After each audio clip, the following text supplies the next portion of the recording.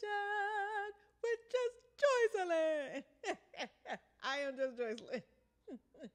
and I'm so glad that you've decided to join me on my channel. And as we go into God's word today, again, uh, please, please, please, please subscribe and also hit the notification button um, so that that way you'll be able to always see when I post. And we'll be able to communicate and talk with one another as we're going through uh, this life as Christians and learning to be more like Him. All right. And the way this thing works is basically as God gives inspiration to me through his word, I share it with you. And like I said before, it's our time to communicate and you are there and are there and I am here and that is two or more gathered. And we're actually going to find out where that scripture is today. Cuz I've always kind of wondered where that was and so it's in Matthew. So we're looking at Matthew today, chapter 18, verses 15 through 20. Again, that's Matthew chapter 18, verses 15 through 20. And it says this if your brother or sister sins, go and point out their fault just between the two of you. Okay, so before you turn this off, I'm not here to condemn you or you or you or you or you or you. Okay, I clearly understand that as my finger is pointed here, I got like four looking back at me, three, four, yeah, looking back at me. So please, please, please, please, hold up. Let me finish. All right, we'll start again. Verse 15 If your brother or sister sins, go and point out their fault, just between the two of you. If they listen to you, you've won them over. But if they will not listen, take one or two others along with you, so that every matter may be established by the testimony of two or three witnesses. If they still refuse to listen, tell it to the church. And if they refuse to listen even to the church, Treat them as you would a pagan or a tax collector. Truly, I tell you, whatever you bind on earth will be bound in heaven, and whatever you loose on earth will be loosed in heaven. Again, truly, I tell you that if two of you on earth agree on anything, ask for it, and it will be done for them by my Father in heaven. So, where two or three are gathered in my name, there I am with you. Wow. So this is an interesting word and it's always preached different ways. Um, but again, if you've watched any of my other videos, one of the things that really just blows my mind is how much God desires to be in relationship with us and how he models for us how we are to be in relationship with one another. And so if you look at this right here, you have somebody in the church and you might you may be uh, been the recipient of someone trying to um, talk to you about your sin or whatever that you're doing. But saying all that to say, I have actually have seen some really messed up ways about people trying to lovingly um, give you correction. And the Word of God does say this: um, a fool turns away correction, not calling you names, but if somebody is trying to teach you something, and you know that you are struggling, y'all we should try to listen you know and and you know we're in this like society of if you ain't for me you against me. If you trying to tell me something that i don't like you a hater boop and i ain't thinking about you. But sometimes y'all it ain't hate. It's actually like tough love. You know you know that person that you got around you that if you be like hey was i tripping on that? Mine. Was you? You need that person in your life. You do if you're to grow, you need to have people that are able to help you in that. You need to have people that give, can give you some wisdom. If you're always around yes people, girl, you the bomb. Dude, you did that. You did that. Sometimes you're going to get to a point where you're like, man, that sucked. No, man, that was the bomb. Man, you did that. You did that. But dude, I didn't make the three point shot yeah, you didn't make it, but uh, it kind of went around the rim. It was finna go in that thing. You, you, yeah, you almost did that thing. And you do need people that are encouraging. don't, don't get me wrong. But you also need people who are gonna tell you the truth. And the reason why um, I really like this passage is because, again, the relationship and pursuing. And we as Christians, those of us who do believe in God, we have to be careful um, and the way that we talk to one another you know, God had us to pursue like He pursued us. But at the same point, we have to talk to people in love. How you gonna talk to me about the things that I'm doing and you don't even really know my last name? You don't really know the things that, you know, that I like. You don't even ask me about, you know, how was my day or, you know, about my family or, you know, you you see what I'm saying? You even know me. So how you going to come to me and try to talk to me about my sin or the things that I'm struggling with and you don't have no relationship with me? God is all about relationship. So whether um, and the interesting thing about this passage uh, that Jesus is speaking, he's speaking to the church. So this ain't even about people who don't know him. He's speaking to the church. And the interesting thing about Jesus is number number 1.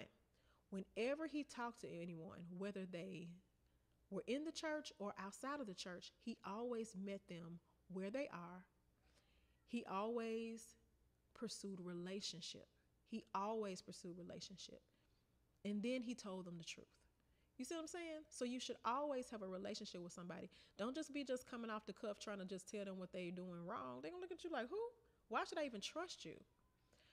I love it in the word. It says that if your brother and sister um, sins, point out their faults just between the two of you. It is not, don't be putting people on blast. Don't be putting people on Facebook talking about some, girl, I saw you did this right here. You know you was wrong for that. Why would you do that? the first thing you're going to do if you're going to talk to them on social media which i don't think you should but if you're going to talk to them on social media media if you're on facebook do it on messenger direct message them be like best friend um, i saw what happened with this right here and i want you to know you know i love you this and this and this and this and even before all of that before all of this pray first pray because that person might know what they're doing is wrong and God is working on their hearts. And so you want to make sure that you approach them in the right way. You see what I'm saying? Um, the second thing that it says in the word in verse 16 it says, "But if they if they listen, you've won them over." So cool. You talk to them, "Hey, friend, this and this this this and this, this, you know God says this. You right, you right, I'm to do better." You won them over. But if they do not listen, it is not time for you to go in. You better listen. You're not going into that mode. now it's time to you to continue, time for you to continue with the compassion and say, take somebody else with you. So that even the matter may be established by the testimony of two or three. So if you try to go talk to them and they won't listen, then take somebody else. Take somebody else that they trust, somebody else, and then um, try again and hopefully they'll listen. If they still will not listen, then you bring it before the church. What folks like to do to try to make themselves look good, yes, um, Watch College is dealing with this, y'all, and um, this and this and this. Don't put people on blast. Again, like I said in the beginning, the thing I love about God is He is relational, one on one. So if you see that somebody is dealing with something, or even if they have a need, man, meet that need it's not all about you getting glory because you help somebody. Don't be taking selfies of you uh helping people, giving them groceries and stuff. What is that? Don't be taking selfies of you, girl. She didn't even have no car, so I just had to bless her with no car, with a car. Boom, boom. Hashtag love God saving these folks. What kind of garbage is that? Anything that you do in the word, it says you do it in secret. It is not about you getting glory, it's about God getting glory. And I'm sorry if I sound really passionate about that, but we have to know that God is a relational God. It is not about you getting glory, but it's about Him getting glory. And we are His hands and feet. And when people see us, they are seeing the reflection of who He is. And if I'm coming off kind of hard, you know, God has put this on my heart. It's not just to you, but it's to me as well. We have got to make sure that we thinking that we're thinking about uh, things in terms of God getting glory and not in terms of us getting glory. It is not about us. Man, Noel uh, Jones, Pastor Noel Jones had this song. It's not about us. Dum, boom, boom, dum, dum, dum, hey, but it's about Jesus. Mm-hmm, mm. Then the, then the choir come in. It's all about you. Hey, hey. But it's about Jesus. Man, that John is on point because it's not about us. It's all about Jesus. It's about him getting the glory. The next thing they say after that is um, if they decide that they do not want to listen. They're not listening to you. They're not listening to other folks, two or three that are trusted. They're not listening to the church leaders. Then at that point, what you have to do is kind of let them go and pray for them. Now, when I say let them go, I'm not talking about you cutting them off and never talking to them again, but you have to put them in God's hands and let God take care of it. Because sometimes, you know, some of us us get stubborn and we don't want to let go of what we're doing. We not we we feel like we ain't ready, you know. And so at that point, we've done what we're supposed to do and we let God handle them. Does that mean that we don't still love them? No, we still love them because God didn't leave us alone. But at that point, you've done what you're supposed to do. So you still love, but you pray for them because God is going he going he going to talk to them. And God can if he have if, if it has to get to that point, God to really let them go through some stuff that's to you know, really shake them and bring them back to him. But you still image him and be who he's called you to be. Um, next thing, it's really cool in the word. Uh, it talks about um, bring on one other thing, uh, where two or three are gathered in my name, I will be with them. That's the last thing I wanted to bring up. And y'all, um, I don't know if you're like me, but sometimes you might feel a little insecurity like, God, I don't know if I can talk to this person, or I don't know if I know enough scripture, or I don't know if they'll receive me. Um, but the word says, where two or more are gathered, he will be in the midst, which means before you talk to him, pray and ask God to give you the words to say, and pray to him that he will um, help you even to have wisdom in, in approaching them. Um, your body language or something you say can set them off the wrong way. And so, before all things, prayer before all things, prayer before all things, prayer before all things, prayer before all things. Before you get ready to talk to someone or minister to them, please make sure that you pray um, because God is always working and He's always setting things up.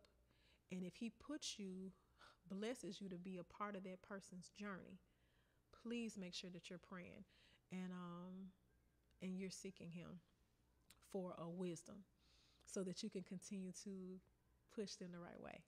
And let me say this too. If you are somebody and you're encouraging someone and it seems like that they're not receiving you or they don't, that does not mean you didn't do your job. Um, it's our job to plant the seed. That's it. Somebody else will come along and water it. Somebody else will come along and give it a little Miracle-Gro you know, uh, it's not your job to do the saving. God does that. And as a matter of fact, He already did it. And so sometimes it just takes time for that seed to grow and blossom. All right. So let's go to God in prayer. God, we thank you so much for your love, and we thank you that you are relational God, meaning you desire to have um, a closeness, an intimacy with your children. God, we pray that you would uh, just continue to just um, change our hearts, make us new, Lord God. We confess our sins, Lord God. We know that we are not perfect, Lord God, but we thank you that you are changing us and making us new every day. Um, God, we thank you for your blood that covers us, Lord God. We are sinners saved by grace, and we just say thank you, Lord God. Uh, thank you for your grace. Thank you for your mercy, Lord. God, I, I pray that my uh, my brothers and sisters are encouraged in you as they're going on their journey and speaking to others about you, Lord. I pray that the word is love, love, love, love, love, uh, so that they might know uh, who you are, God. And I pray uh, for those who do not know you, uh, I, I pray that they realize that the only thing they need to do is confess that they are sinners and they need to believe that you died on the cross for our sins and rose again. And if they believe that today, they are saved. And I'm so happy to welcome them into the body of Christ. And for those uh, of us who still not sure, it's cool. Uh, Jesus is still standing there. Take your time, um, read the Bible, look at history, find him for yourself, and I guarantee he'll blow your mind. and with that being said, uh, God, we thank you and pray, Amen. Amen. So go about your day. Have a good one. And I look forward to talking with you on tomorrow. Y'all be blessed.